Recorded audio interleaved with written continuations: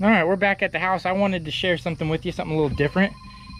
Oh, my phone ringing. It's always something. You can't, can't get away from this thing. I will have to call you back.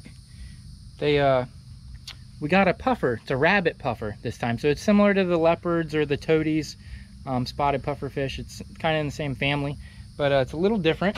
A lot of people have been catching them and they get big, but this is what they look like.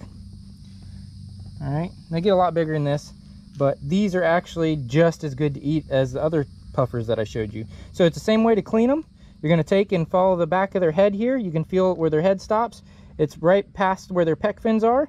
You run that knife down till you crack through the spine and then you stop. You don't want to cut any farther because you don't want to get down into the organs and where the poison gland is, the sac.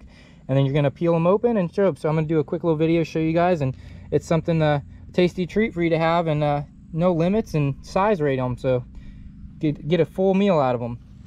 All right, so we're to take and go on the top of the fish here. Like I said, right where the head stops, you can feel the, the skull and it, to the pec fins. So right there, you're gonna run this knife down till you crack through that spine just like that. And you stop. Then we're gonna take and bend it like this. And you're gonna force the meat forward as you're pulling the head down and roll roll that meat out. So just like that. Grab the meat.